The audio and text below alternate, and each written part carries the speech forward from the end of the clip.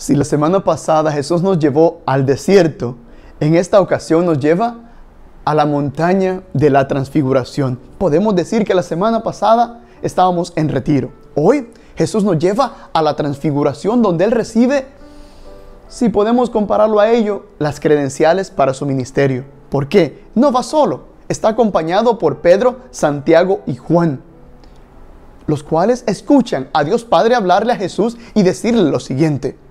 Este es mi Hijo amado, en quien yo me complazco. Escúchenlo. Esta es la última vez que escuchamos a Dios Padre hablar. La primera vez que lo escuchamos es cuando Jesús es bautizado, pero no le dijo escúchenlo. Hoy Dios Padre dice escúchenlo y no volvemos a escuchar a Dios Padre, porque Él quiere que nuestros oídos estén atentos a la voz de Jesús, en la cual Él empieza a formar su magisterio. ¿Por qué? Es que cuando Jesús desciende con Pedro, Santiago y Juan, le dice, lo que ustedes han oído, lo que han visto, no lo compartan con nadie hasta después de mi muerte. Respeta lo que son, pero les da una misión. En nuestra vida es importante respetar la identidad de la otra persona.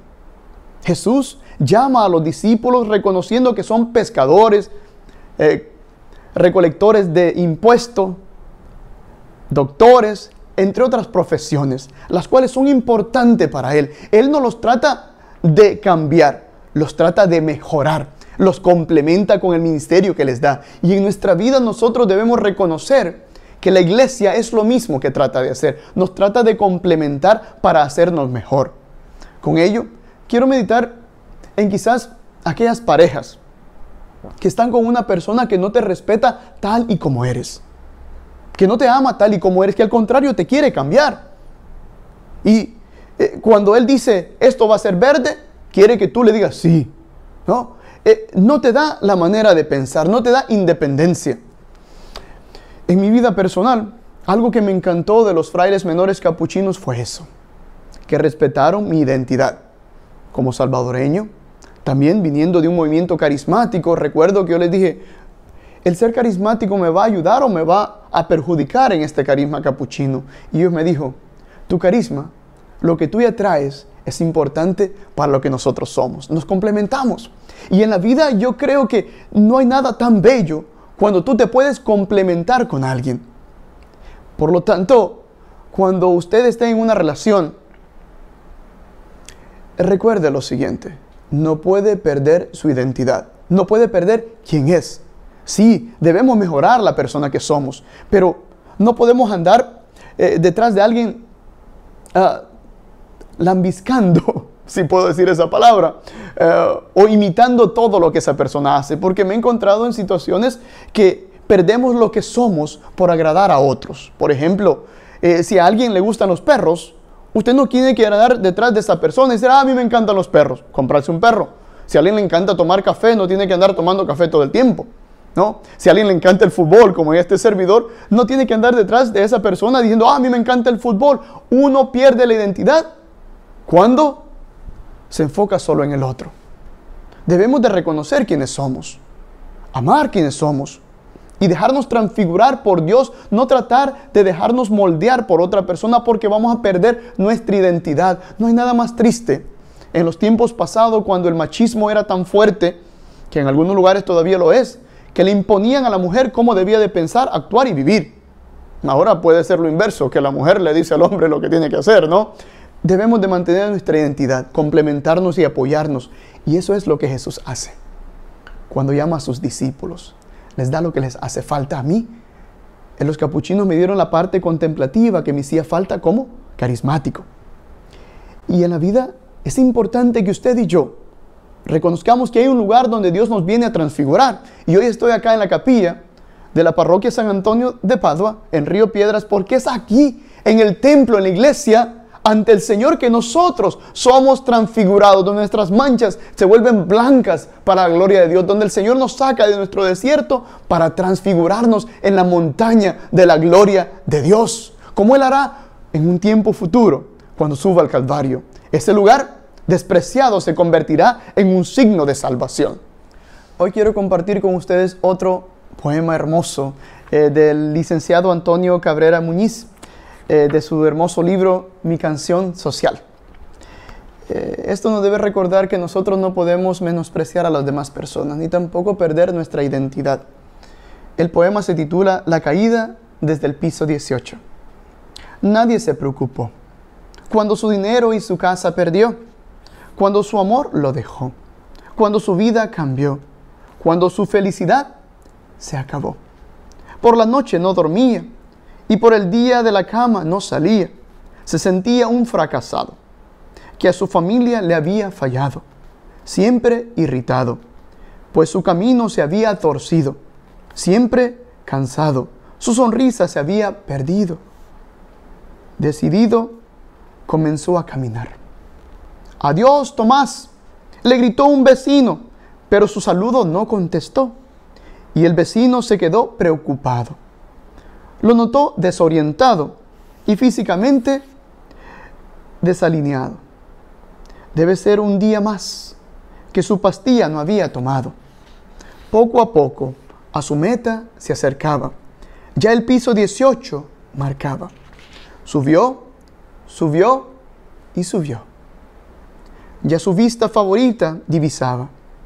Perseguía una falsa salida. Quería que su vida acabara. Ansioso y sudoroso, en curso lo planeado. No había marcha atrás. Su reloj ya había parado. Víctima de su depresión. No quería continuación. En la orilla del piso 18, su cuerpo se balanceaba. Con su mirada perdida hacia el horizonte, escapaba. Por momentos se preguntaba cómo sería su futuro, si es que algo le esperaba ya de sus creencias se separaba. De la vida se despedía. Ya sentido no le veía. No lo hagas, le gritaban. No te vayas a tirar. Piensa en quienes te quieren. No te vayas a matar. Pero la decisión ya estaba hecha. Con su autoestima maltrecha, esperanza ya no había, pues su vida estaba deshecha. Ya su final estaba en movimiento sin margen de arrepentimiento. La calle estaba llena, todos abajo observando. Se escuchaban algunos murmurando. Su médico y policías estaban llegando. Vimos que se persignó. Ya su cuerpo del piso 18 iba bajando. 17, 16, 15, 14. Los pisos que iban pasando 13, 12, 10 su madre de rodillas rezando. 9, 8, 7, 6.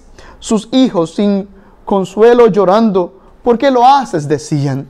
¿Por qué nos dejas?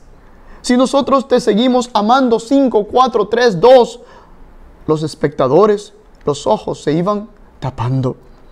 Ninguno el lugar abandonaba y como si fueran gatos, la curiosidad los seguía matando. Uno Luego del piso temblar, vino un silencio sepulcral. Era el cuerpo desfigurado de una vida que había acabado, el final de una mente confundida que de sus problemas quiso escapar, que la pérdida de su felicidad no pudo afrontar, que la pérdida de su autoestima no pudo superar. De repente, todo se apagó. Era un cuerpo sin vida, que en la acera yacía una equivocada solución para una remediable situación. Una nota encontraron, perdón. Decía Tomás equivocado, perdón por haberles fallado. Tomás se fue sin saber o entender el valor que para muchos aún tenía. Un abrazo un te quiero lo hubiera ayudado. Si se hubiera tomado las pastillas, creo que esto se hubiera evitado. En la oficina del doctor, la causa de la muerte se confirmó. Un desbalance químico y emocional, la esperanza le arrebató. Y luego de las notas de rigor, el expediente de Tomás fue enviado para el archivo cerrado. Que Dios nos dé la fuerza y la gracia para ayudar a mantener la identidad y el valor del humano. Nos encontramos en la Eucaristía. Que el Señor les bendiga. En el nombre del Padre, Hijo y Espíritu Santo.